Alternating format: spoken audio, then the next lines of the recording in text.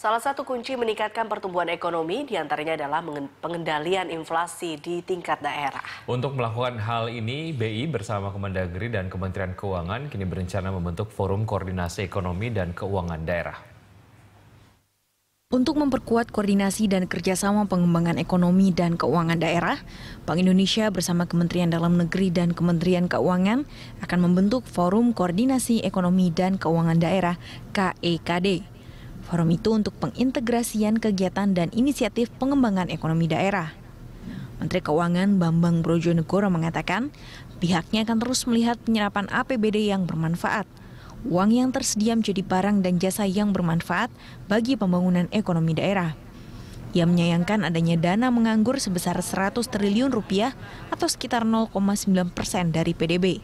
Padahal, jika dana ini digunakan, akan membuat pertumbuhan ekonomi meningkat ada 770 triliun transfer dari pusat di daerah.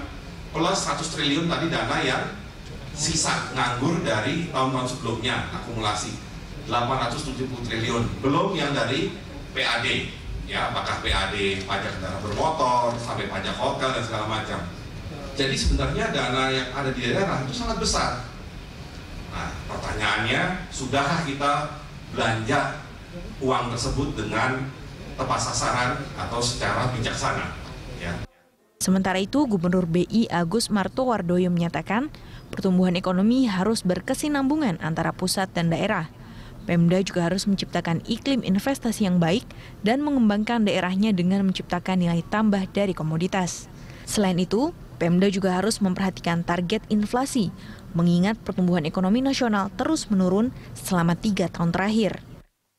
Itu sudah diarahkan oleh Presiden pada saat rapat koordinasi nasional eh, pengendalian inflasi eh, tahun yang lalu di eh, Sahid. Dan eh, itu sudah ditindaklanjuti, jadi sekarang di APBN 2016 itu sudah ada insentif bagi daerah yang bisa mengendalikan inflasi, inflasi akan diberikan insentif gitu. Jadi pesan ini baik sehingga membuat pemerintah daerah yang kurang baik mengendalikan inflasi akan terpacu untuk memperbaiki pengendalian inflasinya gitu. Pemerintah pusat juga siap memberikan insentif bagi daerah yang mampu menekan inflasi dengan baik dan insentif tersebut telah dimasukkan dalam APBNP 2016. Dengan adanya pemberian insentif ini, dapat memacu daerah lain untuk bersama-sama mengontrol inflasi. Nori Utari, Winanto, Berita 1, Jakarta.